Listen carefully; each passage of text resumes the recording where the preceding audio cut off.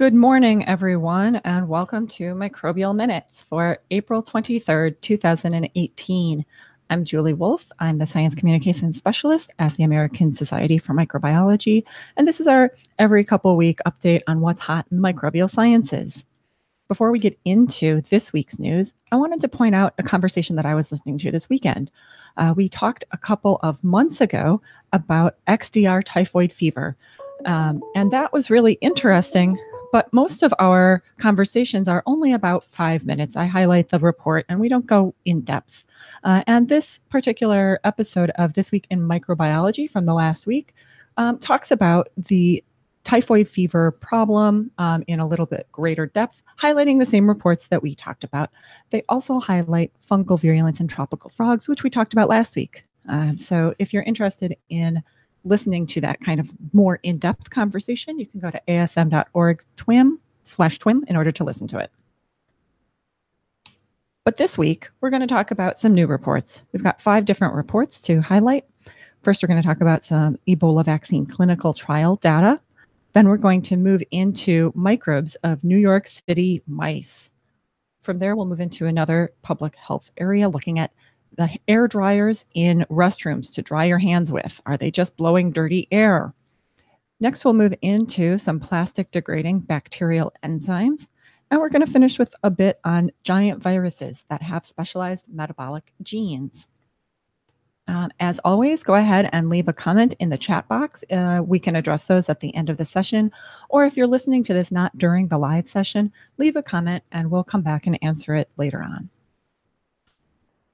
Diving right in, we're going to start with a report from the Lancet Infectious Diseases.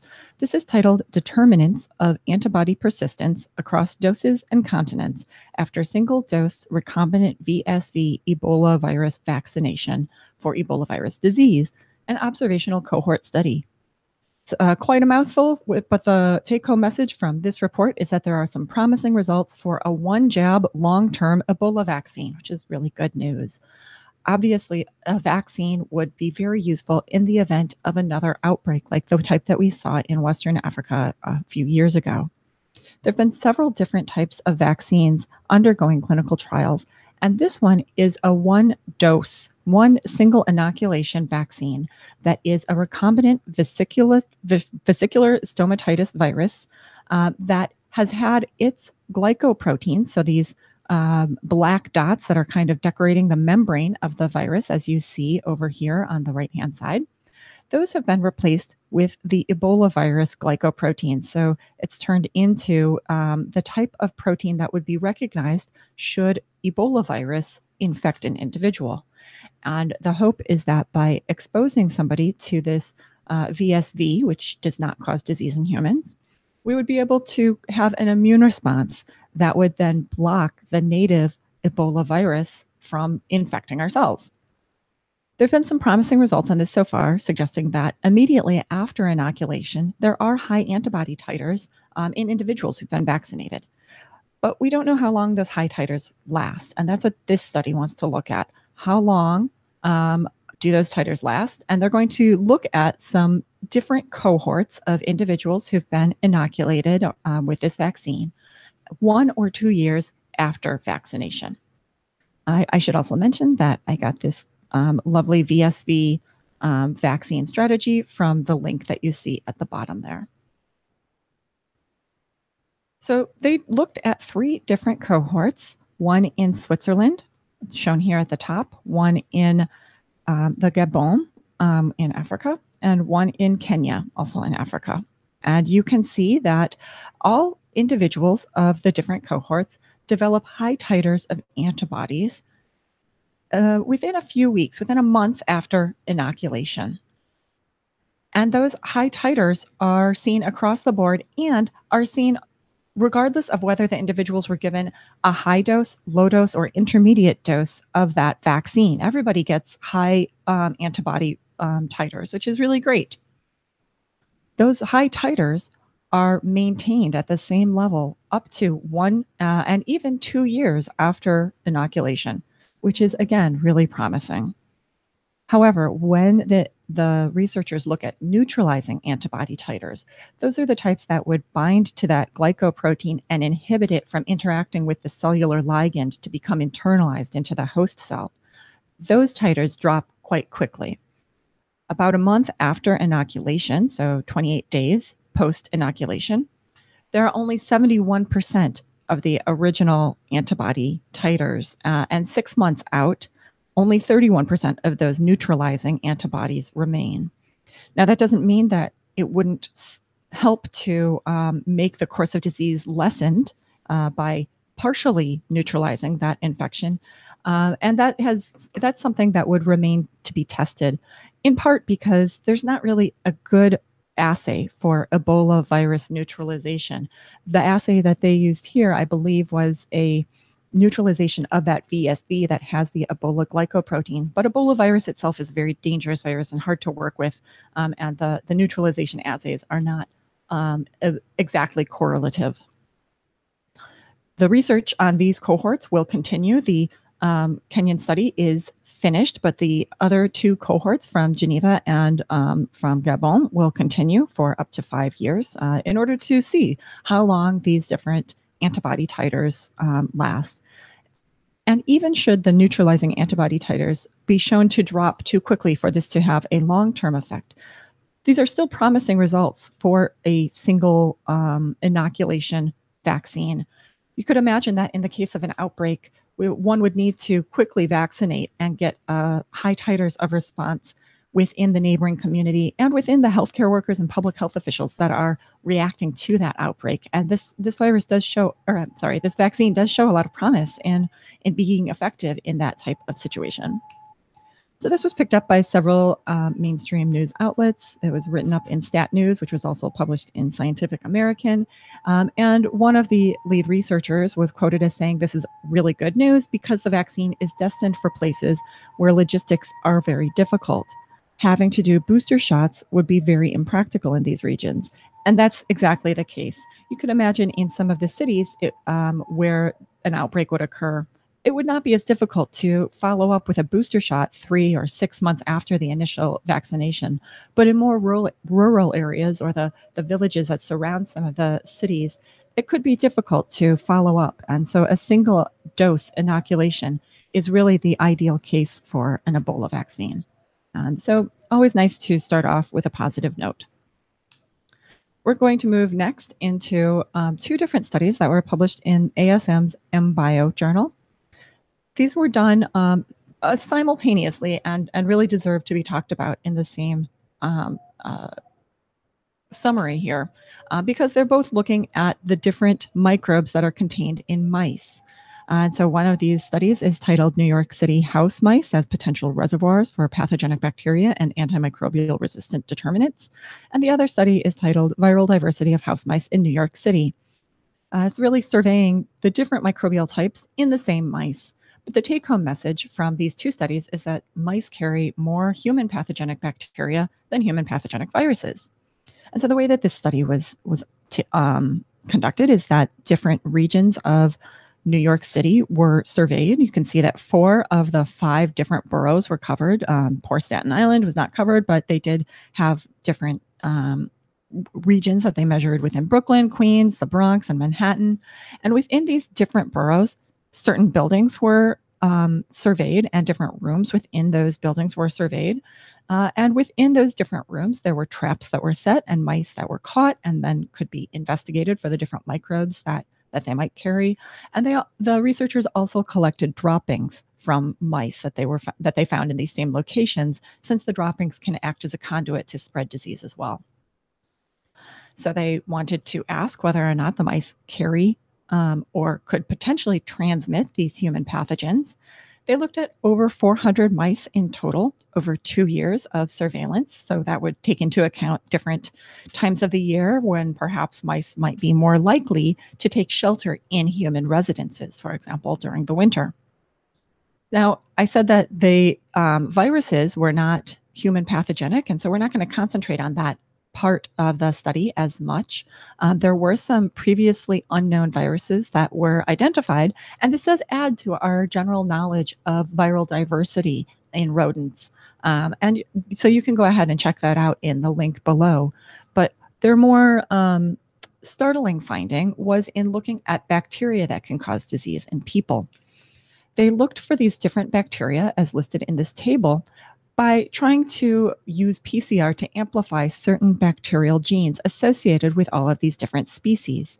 And they were able to find um, at least the genomic material that was um, associated with several different human pathogenic species, including Salmonella, E. coli, Shigella, um, uh, Klebsiella, um, C. perfringens, Leptospira, and C. difficile. And all of these different microbes were identified solely by molecular testing. So, just by looking at whether that genetic material is present, with the exception of C. difficile. They did um, culture C. difficile, and from those cultures, were able to identify at least one of the isolates that was associated with human infection. Um, however, it is important to note that it's not determined. Uh, if, for example, finding the DNA within a sample does not necessarily mean that there is infectious microbe in that same sample. Similarly, they wanted to see whether or not these mice that contained human pathogenic bacteria might also contain different determinants for antibiotic resistance. And so, again, using molecular testing, they found PCRs that were positive for um, different types of genes that confer resistance to quinolones, macrolides, beta lactams. These are very commonly used clinical antibiotics. Uh, and so this was picked up in a number of different places. Uh, it was shared by, it was written up in, in um, Stat News. They had this lovely little graphic of the mice traveling on the transit. I live in New York City and haven't seen mice um, on uh, their way to work in the subways, but I guess it's certainly possible. And in this write up, they talked with Ian Lipkin, uh, the senior author of these both of these studies. Uh, and he said that the findings at least raise the possibility that a person could acquire a bacterial disease that is hard to treat from the different mice that um, may live in the same dwellings as people. This was also written up in the New York Times, unsurprisingly, since it is a New York based study. Um, and here, Lipkin um, again says that he uh, presumes that the mice are largely carriers of the bacteria and are not actually sick sickened by the bacteria that they're carrying. Uh, the the blog post in the New York Times also asked the questions: Should everyone get a cat? That might help us to control the resident mice population. Uh, and another researcher, unrelated to this um, these studies, uh, did point out that cats have their own viruses, and so it's really impossible to completely free us from exposure from animal carried um, microbes. If you want to hear just a quick summary of the research itself, the um, Scientific American has their 60 Second Science podcast. You can just go ahead and um, either subscribe or just listen on the website that we've included in the links below. Uh, the title of that is New York City Mice Are Packed with Pathogens. We're going to move on to another um, public health related study. Uh, that is also from an ASM journal. This one is Applied and Environmental Microbiology. And the title of this research paper is that deposition of bacteria and bacterial spores by bathroom hot air hand dryers. So the take home message of this is that air dryers may help spread hand and building bacteria. So these hot air hand dryers, or if, as I've just referred to them, the air dryers, um, are potentially spreading bacteria. That's what the, the researchers here want to look at whether when you are blowing hot air onto your hands in a restroom, are you blowing microbes onto your hands? How sanitary are these? And does it compare? Uh, is it to just air drying your hands in the ambient air of the restroom, which some people just kind of shake off their hands um, without using those those hot air hand dryers? The researchers also wanted to look at whether these hot air hand dryers could spread bacteria or bacterial spores throughout a building. And so they used a number of different culture techniques in order to capture the bacteria that are being spread after exposure to either air dryer or ambient bathroom air. They found a number of different um, bacteria that were able to grow on these different agar plates.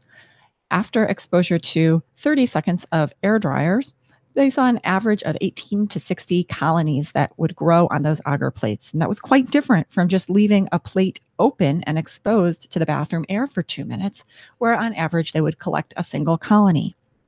However, they also wanted to mimic what would happen if the bathroom air were being forced onto the agar plate? The difference here is that the hand dryers should have a HEPA filter that would help to block any microbes from from being blown directly onto the hands. So they thought maybe this would actually increase um, by by blowing the bathroom ambient air with a fan. Maybe there would be a larger amount of bacteria. They saw that that did increase the number of bacteria. They had 12 to 15 colonies on average, uh, but they that still did not compare with using the air dryer itself. You can see that some um, human pathogens, as indicated in bold in this table, were found only after exposure to the ambient air, uh, such as Acinetobacter baumannii, uh, but that some, such as Staphylococcus aureus, were found only after the air dryer exposure and not in the ambient air. The researchers also wanted to ask about the presence of spore forming colonies, especially if they the spore forming bacteria were being worked with in a distant part of the building, not necessarily in the bathroom themselves. Because, of course, in a lab environment, you could imagine that there are different labs within an academic institution or a research facility that are dealing with different types of microbes. And when they used a very specific type of Bacillus subtilis, this is a non pathogenic spore forming bacterium they were able to find that 2.5 to 5% of the bacteria deposited on those agar plates after air dryer exposure were this um, this same spore forming strain, and that was regardless of how far away the bathroom was from the spore forming lab that they that they were holding the bacteria in. So, this, uh, of course, has a lot of um, interest in public health. A lot of people who use restrooms are trying to figure out what's the cleanest way to, to dry hands. And so, this was picked up by a number of different news outlets, including several mainstream news outlets. Here we have a, a report in the women's magazine Allure um, where they spoke with the senior author, Peter Setlau, who said that the more bacteria that are deposited on hands and body, the more likely that you will get a potential pathogen on your hands and then into your mouth or eyes. You could get sick or transfer the bug to someone else. And that's certainly a possibility. You can see that this was widely shared on social media. I found a number of different people who were um, sharing this on their Twitter accounts. Uh, but I think that it is important to keep in mind that they were testing the presence of bacteria on agar plates that would allow any microbe that was deposited to start growing and form a colony. Unlike our hands, which have their own microbiome, and that means that the, the available niches for bacterial growth are not going to be as friendly or welcoming to all bacteria that are deposited. I think it, uh, it might be impo- important to consider this particular study in the case of a hospital or a place where other immunocompromised people might need to minimize their exposure to different microbes. And that's most likely how this, this research will be interpreted. All right, we're going to move on to our next study. This one was from um, the Proceedings of the National Academy of Sciences, or PNAS. It's titled Characterization and Engineering of a Plastic Degrading Aromatic Polyesterase take home message from this is that scientists have improved the bacterial plastic degrading enzyme. So, plastic is something that is ever present in our world. It's found um, on our appliances. Um, it's commonly, uh, a common example is in water bottles that are available in grocery stores or corner markets, um, just about everywhere that we go.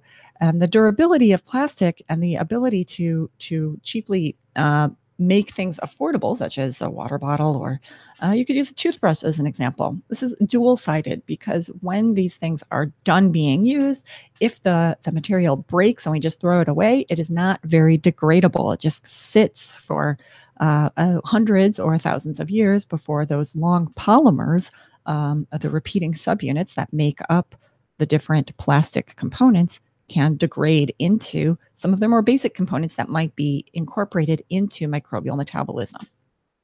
However, in 2016, a new marine microbe was identified, Ideonella sakaiensis, that can grow using polyethylene terephthalate, or PET, uh, as its major car- carbon source. And it does this by secreting a PETase, which breaks down that polyethylene terephthalate, which is the major plastic in water bottles, uh, into some other more readily accessible compounds. And so this was um, a big deal when it was found a couple years ago. But of course, scientists want to improve upon some of these natural processes, maybe to express the um, PETase to higher levels. We could spray it on some of our plastic before it's headed for the dump, uh, or maybe we could make it more efficient. And so this research was really to look specifically at the characteristics of this PETase. And um, to answer to answer the question, would we be able to engineer a more effective version? As directly quoted from the abstract of this paper, um, the scientists say that by narrowing the binding cleft via mutation of two active site residues to conserved amino acids in cutenases, we surprisingly observe uh, improved PET degradation, suggesting that PETase is not fully optimized for crystalline PET degradation. And so, dissecting this a little bit, it means that they were able to make just a couple of changes in the amino acid sequence of the protein uh, and this allowed them to make a, a, more efficient version of this enzyme. And they did this um, because this PETase looks very similar to another type of hydrolytic enzyme called a cutinase. And they saw that within the cutinase, that the binding site, as shown here, so this is the PETase shown in A and C here, has a really um, a wide mouth that allows um, uh, uh, the PET to fit into that groove. And they they said, okay, well, if we change two of those amino acid residues so that it looks more like the PE or looks more like the cutinase that is a, a, homologous enzyme, then we'll end up with a smaller opening, as you can see in B and D. This is the engineered form where there's a slightly smaller cleft where the, the active substrate would fit in. And then they tested this by applying the enzyme directly to some polyethylene uh, terephthalate. And you can see that there was uh, here um, a smooth sheen of this particular um, plastic. And then they used the wild type or natural form of the enzyme and they saw degradation as they had done before. You can see some of those holes that are within that um, plastic. That's the result of the PET ACE activity.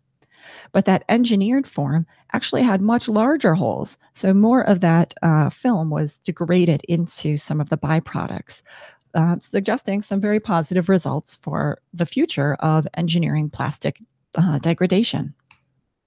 This was picked up by a couple of mainstream outlets. Uh, it was picked up by a number of outlets. Everyone who is concerned about the environment should be um, thrilled at these results. So, The Guardian, um, a um, British newspaper, uh, was able to talk to one of the researchers who said that what we hope what we are hoping to do is to use this enzyme to turn this plastic back into its original components so we can literally recycle it back into plastic and wouldn't it be great if we no longer had to use oil um, or uh, some of those those crude oil um, byproducts in order to make plastic? We could literally recycle our plastic by breaking it down into the basic subunits and then building it back up into new plastic materials. The same researcher said that people are now searching vigorously for other types of plastic that could be broken down by bacteria that are currently evolving in the environment. And that would be exciting too, because PET is only one of the polymers that uh, is known to be a plastic um, polymer. Uh, this was also found, um, this was also written up in Science News. This is a, a trade um, newspaper or a trade um, website that highlighted the fact that this engineered PET could um, degrade both PET and another newer bio based plastic called PEF. So, um, not only was the engineered PETase more efficient, it could also break down additional types of plastic. Super promising. So this was shared by groups concerned about conservation, such as Planet Vision, groups interested in microbiology, since this is a microbial um, process, and just individuals who have a general interest in science. Uh, and I recommend checking out the, the paper if you are have more interest in this particular process. All right, we're going to talk about our last uh, study. This is something from the journal Virology. And this is titled A Giant Virus Infecting Green Algae Encodes Key Fermentation Genes. And this is a topic that has just barely missed the cutoff in the last type last couple of microbial minutes, because there's been quite a bit about different types of giant virus research that's been published um, in the last couple of months. So I'm glad that we're able to incorporate one of these studies. The take home message from this particular study is that a giant virus genome encodes fermentation genes, which is just kind of mind boggling when you think about how viruses have traditionally been defined as basically containing only their genes for um, gene expression and, and viral replication. Now, these giant viruses are a relatively new type of virus. They were only discovered, I believe, in 2004, the, the first Pandora virus, which is a very large virus, a giant virus. Uh, and since then, there have been a number of different viruses that have been found. These, these giant viruses are large not only in their size, they are generally larger than one micron, but also in genome. They have much larger genomes than some of the more traditional um, viruses that have been studied, as large as 2.5 megabases. Nine of the 10 largest viral genomes have come from giant viruses found to infect the amoeba acanthamoeba. And the other is from a virus that infects the protist Cafeteria ro-. Uh, and a lot of the um, viruses, of course, still rely on the host cell molecular machinery for replication, but they have been found to carry unusual genes, including those involved in um, different replicative properties or processes, such as the novel tRNA synthetase that was discovered in 2004. Now, this report is um, characterizing a new Mimi viridae family member that was discovered um, within green algae. This is a tetraselmis virus 1 or TETV1. So the researchers took the genome of this large um, TETV1 virus and they characterized all of the different genes um, that they were able to identify through software identification. So, taking things that looked like they contained an open reading frame. Uh, and they blasted or compared those sequences against known genes. And they found, of course, that many of them have no homologs. They are um, unknown in the viral world or other types of worlds. And then they have some that have similarity in their sequence or homology to bacterial genes, viral genes, and eukaryotic genes. And interestingly, in this table, they're able to um, characterize some genes that are in, uh, related to the ability to uh, conduct fermentation. This includes things such as the pyruvate uh, formate lyase activating enzyme, the pyruvate formate lyase, um, and others that are actually homologs or have similarity to eukaryotic genes. And this is the first time that fermentation or fermentation like genes have been identified in a virus. It's really uh, an interesting process thinking about why this virus would carry these particular genes.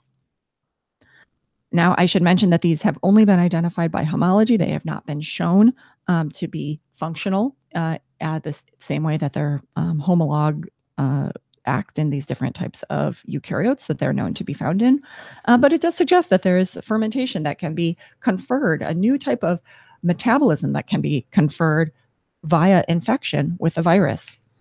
So this was not picked up by um, news outlets, but it was widely discussed on Twitter. Um, so I, I, found a few very interesting discussions that were ongoing, uh, including um, one user who took this to the next level, imagining that a human virus that could allow us to ferment our own systemic ethanol, which is again just a kind of a crazy sci-fi way to imagine um, some of the current findings in how they could be applied in the future. That's it for today's microbial minutes. Those are the some of the major um, microbial stories that have been circulating. And uh, hope that you enjoyed this discussion. If you did, go ahead and subscribe, and you'll always get an update every time we're about to have another one of these sessions. Um, I just to summarize what we have talked about. We talked about how promising results for a one jab long term Ebola vaccine show promise for that vaccine. We talked about mice that carry more human pathogenic bacteria than viruses. We talked about air dryers that may help spread hand and building bacteria we discussed scientists um, who have improved bacterial plastic degrading enzymes. And we talked about how giant virus genome can encode fermentation genes. Um, I don't see any particular questions, so I will come back uh, again. Feel free to leave your questions in the comments, and I'll talk to you next time.